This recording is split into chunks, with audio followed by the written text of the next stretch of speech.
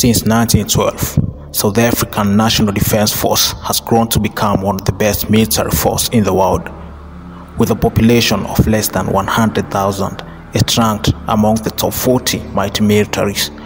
This tremendous growth has been linked to top-notch training, good leadership, and powerful weapons. Talking of weapons, let's look at South Africa Armed Forces' most powerful weapons. T-52 self-propelled howitzer. As the name suggests, C-52 is a 52 caliber 155mm truck-mounted gun. It has a shooting range of over 40 kilometers while using base-bleed projectiles, which plays a major role in increasing its range by 20 to 35%. This makes it one of the most advanced self-propelled artillery in the world. Olifant Mk2 is a predecessor of Olifant Mk1B, which was formerly used as the South African Defence Forces main battle tank. The tank is equivalent to a rank 6 British medium tank with its design based on British Challenger 2 and French Leclerc. According to classified military files, a total of 26 Mk2s entered service between 2006 and 2008, but up to date, these tanks have never seen battlefronts. However, a number of Mk2s are used for training purposes. Saab Gripen CND It's a multi-role fighter jet that was engineered in Sweden. South Africa became the first country to procure 26 of these leather jets in the late 90s.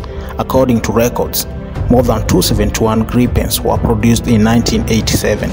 Despite advancement in modern warfare, these jets are still in service, but some countries, like the United Kingdom, use them strictly for training.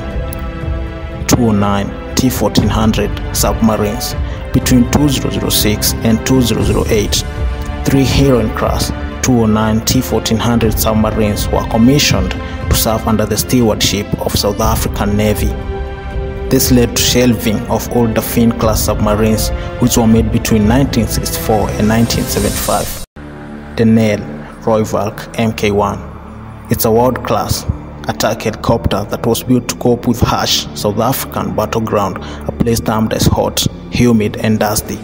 Between 1990 and 2007, 12 Mk1s were made specifically for South African Air Force, but the helicopters didn't enter service until 2011. Since then, they have seen combat around the world, with the most remarkable being when two Royvacs serving under the United Nations fired rockets on M23 rebels in the Democratic Republic of Congo.